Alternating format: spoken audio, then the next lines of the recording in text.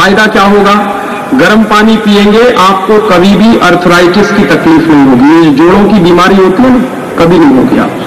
पीते रहिए। गर्म पानी पीते रहिए, कभी भी आपको जॉन्डिस नहीं होगा हेपेटाइटिस नहीं होगा, पीलिया नहीं होता कभी गर्म पानी पीते रहिए, कभी भी आपको डायबिटीज़ नहीं होगा। गर्म पानी पीते रहिए, कभी भी आपको कॉन्स्टिपेशन की तकलीफ़ नहीं होगी, कब्जियत नहीं होगी। गर्म पानी पीते रहिए, कभी भी आपके शरीर पर मोटापा नहीं चढ़ेगा, चर्बी नहीं बढ़ेगी। गर्म पानी पीते रहिए, आपके शरीर को कभी भी हार्ट अटैक की तकलीफ़ नहीं आएगी। गर्म पानी के बहुत फ़ायदे हैं तो आप पीजिए।